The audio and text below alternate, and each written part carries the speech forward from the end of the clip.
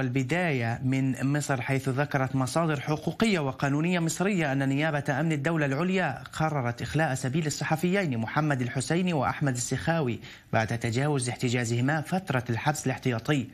وقال المحامي مختار منير إن نيابة أمن الدولة العليا قررت إخلاء سبيل الحسيني بضمان محل إقامته بعد مرور أكثر من 26 شهرا على القبض عليه وحبسه.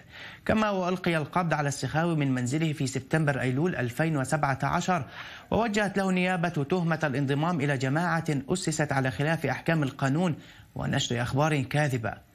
في سياق متصل يواجه رامي كامل وهو ناشط حقوقي قبطي اتهامات بالانضمام لجماعة إرهابية ونشر أخبار كاذبة فيما تشن السلطات حملة قمع ضد المعارضين.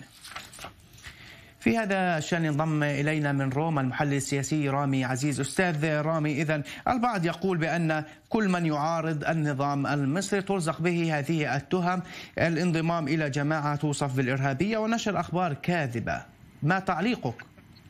يعني في البداية تحية لك وللمشاهدين هذه هذه التهمة فقدت مصداقيتها وفقدت صلاحيتها ولكن من الواضح أن النظام ليس لديه تهم أخرى يقيلها إلى كل من يعبر عن رأيه في مصر غير هذه التهمة فهو مستمر فيها.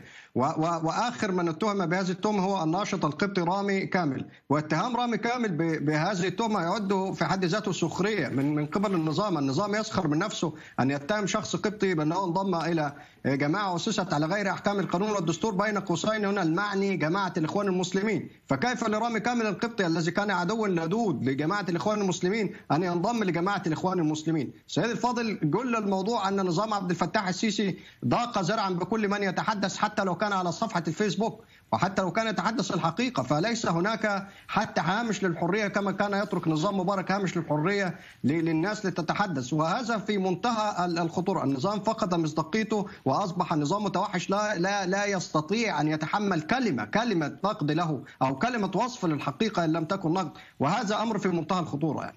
أستاذ رامي يعني في ذات السياق الرئيس المصري والنظام يقول بأنه صار من الصعب اليوم جذب الاستثمارات الأجنبية إلى مصر. هل باتت الدول تخشى التعامل مع هذا النظام؟ ربما هل أضر ما يجري سياسيا من ملاحقة للمعارضة على صورة مصر وصورة هذا النظام؟ يعني أحييك على هذا السؤال. هذا السؤال مهم جدا. في النهاية الاقتصاد هو عصب الدول.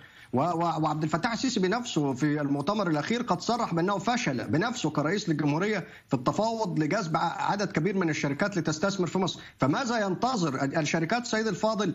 يعني ألف باء أنها تبحث عن الدول التي تذهب لتستثمر فيها، هل هناك استقرار سياسي؟ هل هناك إرهاب؟ هل وهو يسوق ليلا نهارا بأن مصر أصبحت دولة قمعية، كيف كيف كيف يمكن للشركات أن تأتي وتستثمر مليارات الدولارات في بلد غير مستقر سياسيا؟ بين لحظة وضحاها ممكن أن يحدث انفجار انفجار مثلما حدث في الربيع العربي من قبل وهو لم يكن متوقع لم يكن متوقع أن تخرج الملايين إلى الشوارع في الربيع العربي.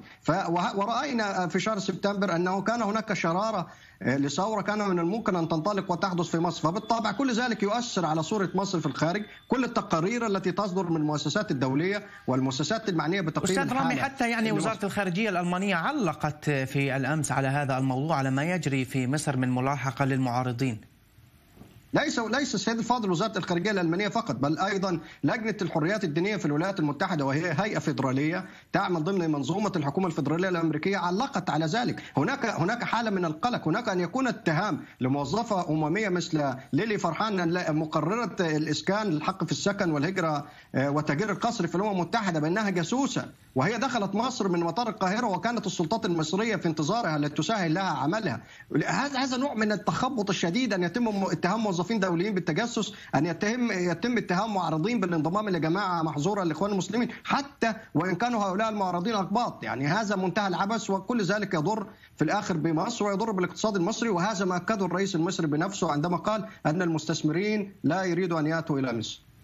الأستاذ رامي عزيز المحلل السياسي كنت معنا من روما. شكرا جزيلا لك.